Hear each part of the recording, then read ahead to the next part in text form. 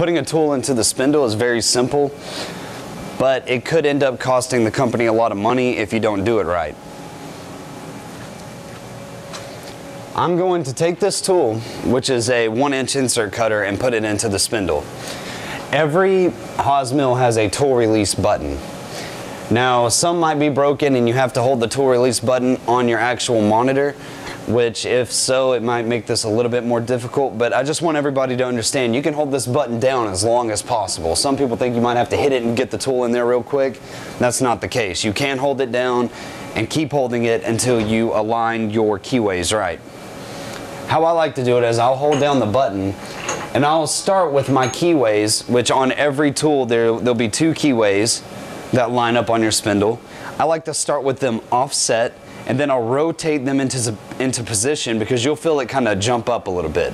So I'll start off of the position and then I'll rotate until it goes into the keyways and then I'll release the tool release button slowly put my tool in. I'm going to start off center and I'm going to rotate till it kind of pops in. I'm going to rotate it back and forth and then let go. And just to release it, make sure you have your hand under it. Now, one thing that has happened to one of my coworkers is she was getting out a shell mill and she was pretty close to her vice table. And this shell mill is about a four inch uh, shell mill, so they, she wasn't prepared for the weight of it.